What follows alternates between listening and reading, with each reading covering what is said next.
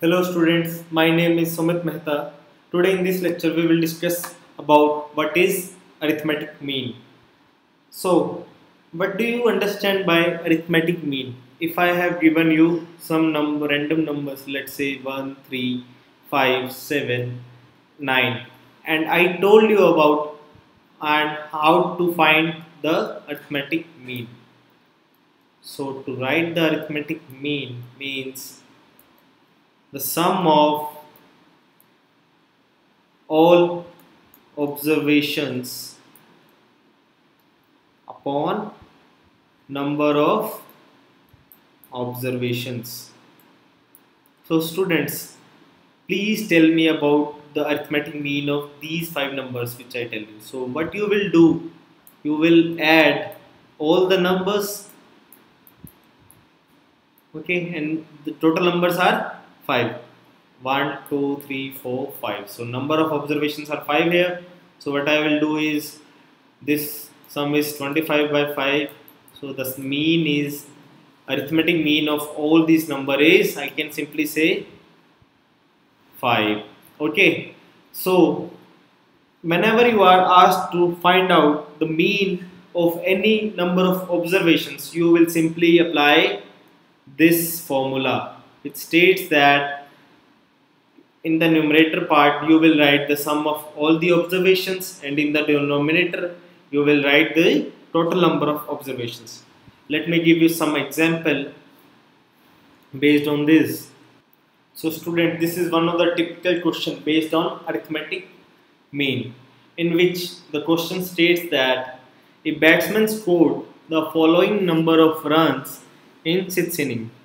So the number of runs scored in first inning is 36, in second inning is 35, in third is 50, fourth is 46, fifth is 60 and 55.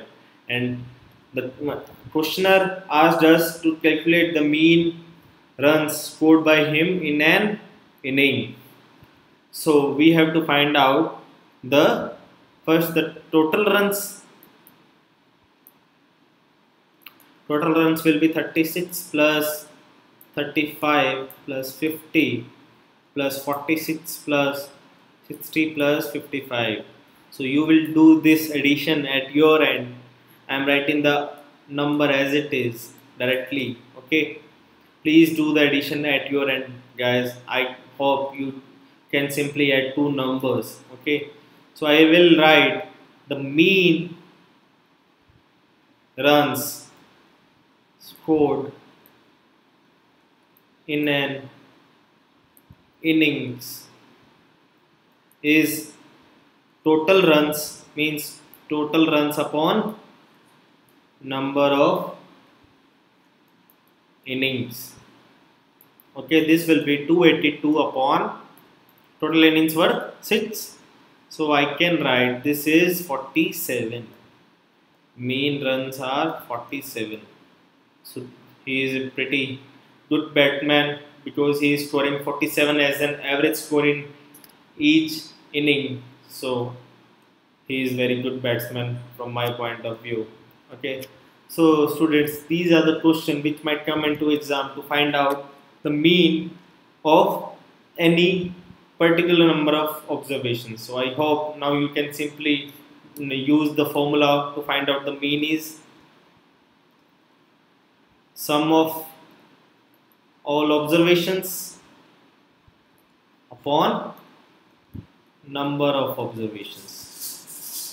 So by using this formula you can find out mean of any number of questions. Okay? And if you still have any doubt or any query based on this tip please do comment in the comment section students. I'll be happy to help you guys there. Thank you. Happy learning